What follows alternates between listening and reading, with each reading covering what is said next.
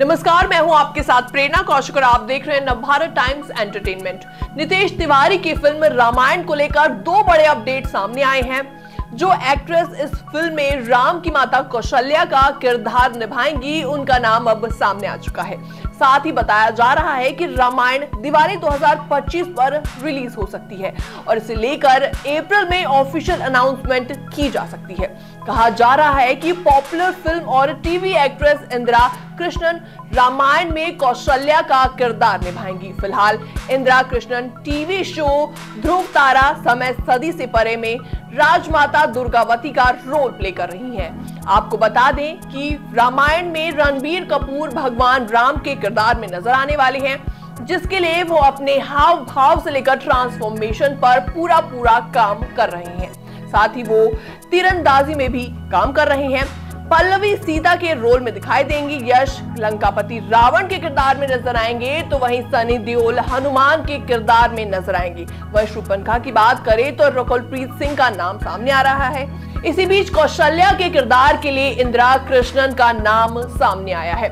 Film से जुड़े एक करीबी सोर्स ने हमारे सहयोगी ई टाइम्स टीवी को बताया कि मेकर्स ने कौशल्या के किरदार को निभाने के लिए अनुभवी एक्ट्रेस इंदिरा कृष्णन को कास्ट किया है, जो भगवान राम की बायोलॉजिकल माँ थी। इंदिरा पिछली बार फ़िल्म एनिमल में नज़र आई थी, जिसमें रणबीर कपूर लीड रोल में थे। इसमें वो रणबीर की सास और रश्मिका मंदाना की माँ के रोल में थी। सोर्सेज ने यह भी बताया कि रामायण में कौशल्या के किरदार के लिए रणबीर कपूर ने ही इंदिरा कृष्णन का नाम सजेस्ट किया था।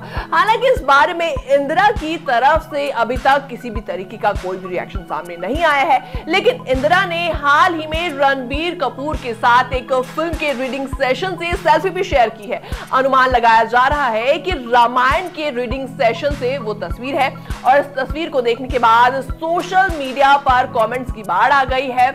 और कुछ समय पहले खबर आई थी कि रामायण को तीन पार्ट में बनाया जाएगा। जिसमें से पहला पार्ट सीता के अपहरण पर खत्म होगा, दूसरा पार्ट राम लक्ष्मण और हनुमान की मुलाकात और राम सेतु निर्माण पर फोकस होगा, जबकि तीसरे पार्ट में रामायण और राम का युद्ध दिखा जाएगा। फ़िलहाल इस सेल्फी को देखने के बाद आप लोग कितने एक्साइटेड हुए, आप ही हमें फटाफट से कमेंट सेक्शन में कमेंट करके ज़रूर बताएँ। बाकी एंटरटेनमेंट से जुड़ी तमाम खबरों को देखने के लिए ज़रूर सब्सक्राइब करें NBT entertainment till then this is me Prerna Kaushik signing out